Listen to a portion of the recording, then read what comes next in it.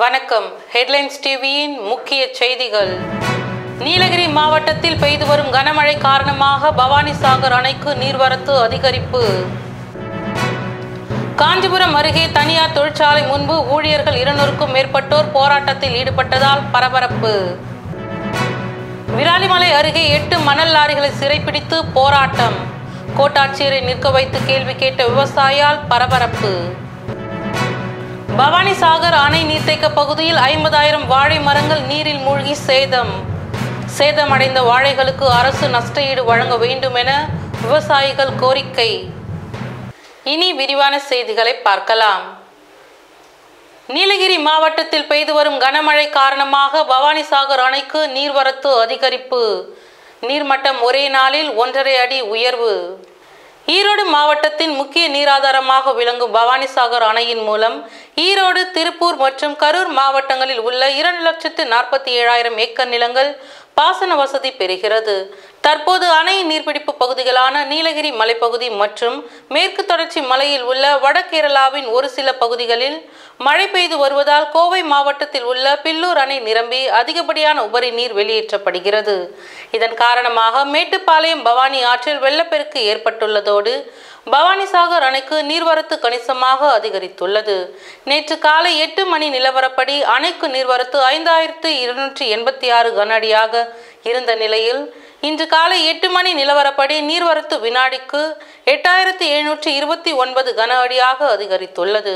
இதன் காரணமாக அணையின் நீர்மட்டம் ஒரே நாளில் ஒன்றரை அடி உயர்ந்து எண்பத்தி ஒன்று புள்ளி இரண்டு ஏழு அடியாகவும் நீரிறப்பு பதினாறு புள்ளி மூன்று டிஎம்சியாகவும் உள்ளது.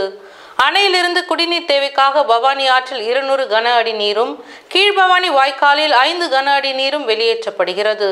நாளை தடப்பள்ளி அரக்கன்கோட்டை வாய்க்கால் பாசனத்திற்கு நீர் திறக்கப்பட உள்ளது. பவானி சாகர் அணைக்கு நீர்வரத்து அதிகரித்துள்ளதால் பாசன பகுதி விவசாயிகள் மகிழ்ச்சி அடைந்துள்ளனர்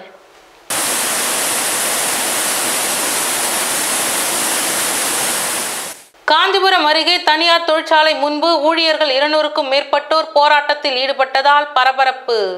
காஞ்சிபுரம் அடுத்த சின்னையன் சத்திரம் பகுதியில் இயங்கி வரும் சாம்சங் கம்பெனிக்கு உதிரி பாகங்கள் தயாரிக்கும் தனியார் தொழிற்சாலையில் இருநூறுக்கும் மேற்பட்டோர் தங்கள் குடும்பத்துடன் ஆர்ப்பாட்டத்தில் ஈடுபட்டனர். தொழிற்சாலையில் பணியாற்றி வந்த இருபத்தி இரண்டு ஊழியர்களை பணியிலிருந்து தொழிற்சாலை நிர்வாகம் நீக்கியுள்ளது. இதனை கண்டித்து ஊழியர்களை பணி நிரந்தரம் செய்ய கோரியும் இருபத்தி இரண்டு தொழிலாளர்களை மீண்டும் பணியில் அமர்த்த கோரியும் தொழிலாளர்கள் வஞ்சிக்கும் நிர்வாகத்தை எதிர்த்து வேலைநிறுத்த போராட்டத்தில் ஈடுபட்டனர். தொழிற்சாலை நுழைவு வாயில் முன்பு நிர்வாகத்திற்கு எதிராக கோஷங்களை எழுப்பி ஆர்ப்பாட்டத்தில் ஈடுபட்டனர். மேலும் எங்கள் விவசாய நிலங்களை கொடுத்துள்ளதால் மட்டுமே இந்த தொழிற்சாலை இந்த பகுதியில் அமைந்துள்ளது. இதனால் இந்த பகுதியில் உள்ள கிராம மக்களுக்கு முன்னுரிமை கொடுத்து வெளி மாநிலத்தவருக்கு முன்னுரிமை வழங்குவது கண்டிக்கத்தக்கது என கூறுகின்றனர். ராதாகிருஷ்ணன் ஸ்டேடியத்திலிருந்து புறப்பட்டு வந்து எக்மோர் மாவீரன் அழகுமுத்துக்குன் திருவுருவ சிலைக்கு பல்வேறு தலைவர்கள் மாலை அணிவித்து மரியாதை செய்தனர். அழகுமுத்துக்கோன் இருநூத்தி அறுபத்தோராவது குரு பூஜை விழாவில் யாதவ மகாசபையின் தலைவர் என்ற முறையில் பங்கேற்பதில் மிக பெருமை அடைகிறேன். யாதவர் பேரவையின் தலைவர் என்ற முறையில் பதவியேற்பது பதவியேற்றத்தில் முதல் அழகுமுத்துக்கோனின் முதல் குரு பூஜை விழாவில் கலந்து கொள்வதில் மிகப்பெரிய மகிழ்ச்சி அடைகிறேன். விராலிமலை அருகே எட்டு மணல் லாரிகளை சிறைப்பிடித்து போராட்டம். கோட்டாட்சியரை நிற்க வைத்து கேள்வி கேட்ட விவசாயியால் பரபரப்பு.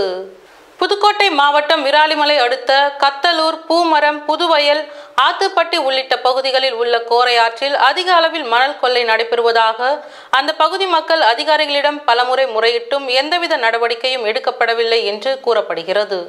மேலும் இரவில் மட்டும் நடைபெற்று வந்த மணற்கொள்ளை பகலிலும் தொடர்ந்ததோடு பல்வேறு மாவட்டங்களில் இருந்து தினமும் நூற்றுக்கணக்கான லாரிகளில் மணல் கொள்ளை நடைபெறுவதை அறிந்து ஆத்திரமடைந்த மக்கள் நேற்றிரவு எட்டு லாரிகளில் சட்டவிரோதமாக மணல் ஏற்றியதை அறிந்து மணல் லாரிகளை சிறைப்பிடித்து பூமரம் ஆத்துப்பட்டியில் போராட்டத்தில் ஈடுபட்டனர். இதனால் லாரிகளில் இருந்த மண்ணை அங்கேயே கொட்டிவிட்டு சென்றனர். நேற்றிரவு தொடங்கிய போராட்டம் இன்று காலை வரை தொடர்ந்தது. விராலிமலை போலீசார் வந்து பலமுறை பேச்சுவார்த்தை நடத்தியும் பொதுமக்கள் ஏற்றுக்கொள்ளவில்லை. லாரிகளையும் விடவில்லை. மேலும் ஒரு லாரிகளின் முன்பக்க கண்ணாடிகளையும் உடைத்தனர். இதனால் பரபரப்பு ஏற்படவே வருவாய் கோட்டாட்சியர் வந்து பேச்சுவார்த்தை நடத்தியும் மக்கள் ஏற்றுக்கொள்ளாத நிலையில் இழுப்பு கோட்டாட்சியர் ஜெயபாரதி சம்பவ இடத்திற்கு வந்து சட்டவிரோதமாக மணல் அள்ளுபவர்கள் மீது கடுமையான நடவடிக்கை எடுப்பதாக உறுதியளித்தார். அப்போது அங்கிருந்த விவசாயியும் சமூக ஆர்வலருமான ராஜகோபால் என்பவர் கோட்டாட்சியரை நிற்க வைத்து அடுத்தடுத்து கேள்விக்கணையால் தொடுத்து வருத்தெடுத்தார் அதிகாரிகள் முறையாக செயல்பட்டால் எப்படி மணல் கடத்தல் நடைபெறும்?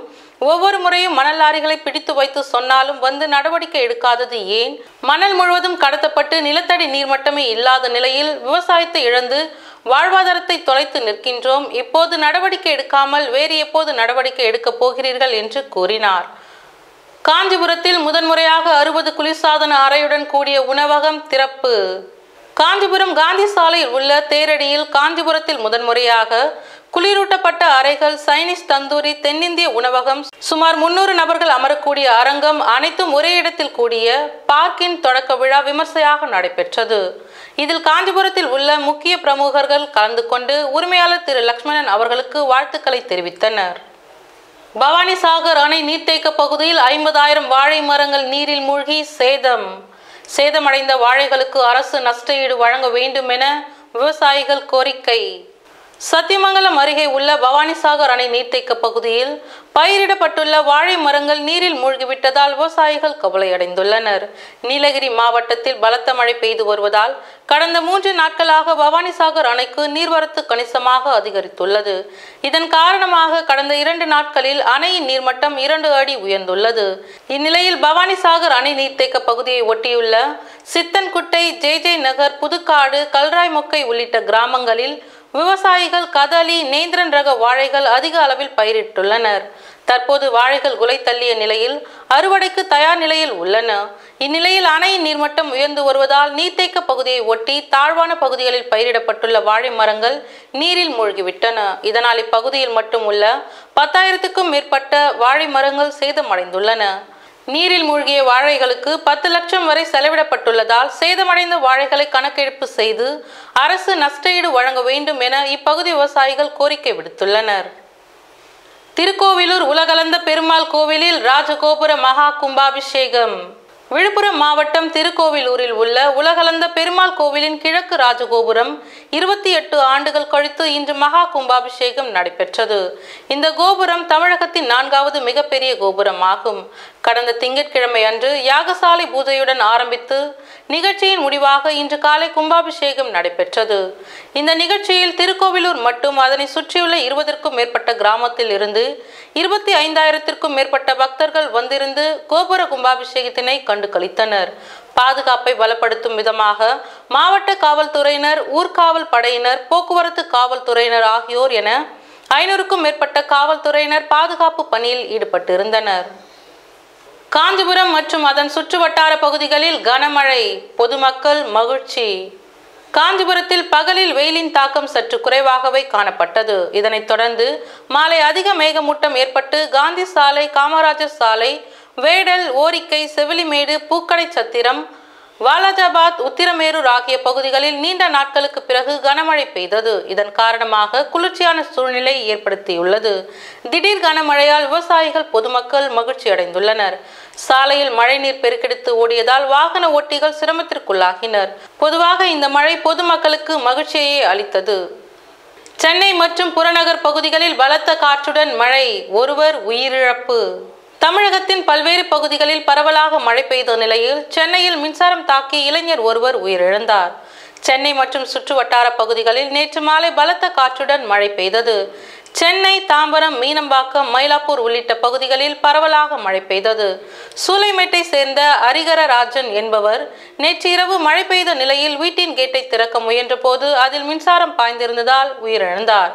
காஞ்சிபுரம் மாவட்டத்தில் நேற்று மாலையில் அதிக மேகமூட்டம் உருவான நிலையில் காஞ்சிபுரம் வாலாஜாபாத் உத்திரமேரூர் உள்ளிட்ட பகுதிகளில் பரவலாக மழை பெய்தது.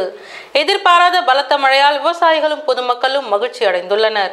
திண்டுக்கல் மாவட்டம் கொடைக்கானலில் காலை முதல் மேகமூட்டத்துடன் காணப்பட்ட நிலையில் தொடர்ந்து சுமார் ஐந்து மணி நேரமாக சாரல் மழை பெய்வதோடு பலத்த காற்றும் வீசி வருகிறது. இதனால் சுற்றுலா பயணிகள் படகு சவாரி செய்ய முடியாமல் ஏமாற்றம் அடைந்துள்ளனர்.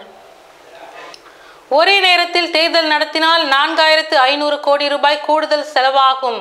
சட்ட கமிஷனுக்கு தேர்தல் ஆணையம் கடிதம். நாடு முழுவதும் ஒரே நேரத்தில் தேர்தல் நடத்தினால் மின்னணு வாக்குப்பதிவு இயந்திரங்கள் வாங்குவதற்கு மட்டுமே நான்காயிரத்து ஐநூறு கோடி ரூபாய் செலவாகும் என்று தேர்தல் ஆணையம் தெரிவித்துள்ளது. நாடு முழுவதும் நாடாளுமன்ற சட்டமன்றங்களுக்கு ஒரே நேரத்தில் தேர்தல் நடத்த வேண்டும் என்ற மத்திய அரசின் விருப்பத்திற்கு சட்ட ஆணையம் ஒப்புதல் அளித்துள்ளது. பல்வேறு மாநில கட்சிகள் கடும் எதிர்ப்பு தெரிவித்துள்ள நிலையில் தேர்தல் நடத்த ஆகும் செலவுகள் குறித்து தேர்தல் ஆணையத்திற்கு சட்ட ஆணையம் கடிதம் எழுதியது. இதற்கு தேர்தல் ஆணையம் எழுதியுள்ள பதில் கடிதத்தில் மத்திய அரசின் ஒரே தேர்தல் அறிவிப்பால் தேர்தல் நடக்கும் போது ஒவ்வொரு வாக்குச்சாவடிக்கும் இரண்டு மின்னணு வாக்குப்பதிவு இயந்திரங்கள் வைக்க நேரிடும் என்று குறிப்பிடப்பட்டுள்ளது. இதற்காக கூடுதலாக பல லட்சம் வாக்குப்பதிவு இயந்திரங்கள் வாங்க வேண்டும் என்று கூறியுள்ள தேர்தல் ஆணையம் அதற்காக நான்காயிரத்து ஐநூற்றி ஐம்பத்தி ஐந்து கோடி ரூபாய் செலவாகும் என்று தெரிவித்துள்ளது. ஒவ்வொரு மின்னணு வாக்குப்பதிவு இயந்திரத்தையும் மூன்று தேர்தலுக்கு மட்டுமே பயன்படுத்த முடியும் என்று கூறியுள்ள தேர்தல் ஆணையம் அதன் பின்னர் புதிய இயந்திரங்கள் வாங்குவதற்கு மேலும் சில ஆயிரம் கோடி ரூபாய் வரை தேவைப்படும் என்றும் அந்த கடிதத்தில் குறிப்பிட்டுள்ளது. வரும் காலங்களில் வாக்குச்சாவடிகளின் எண்ணிக்கை அதிகமாகும் போது அதற்கேற்றாற்போல் வாக்குப்பதிவு இயந்திரங்களின் எண்ணிக்கையும் அதிகரிக்க வேண்டிய கட்டாயம் ஏற்படும் என்றும் அந்த கடிதத்தில் தேர்தல் ஆணையம் குறிப்பிட்டுள்ளது. இத்துடன் இந்த செய்தி தொகுப்பு நிறைவடைந்தது. செய்திகளை உடனுக்குடன் தெரிந்து கொள்ள ஹெட்லைன்ஸ் டிவியை சப்ஸ்கிரைப் செய்யவும். நன்றி வணக்கம்.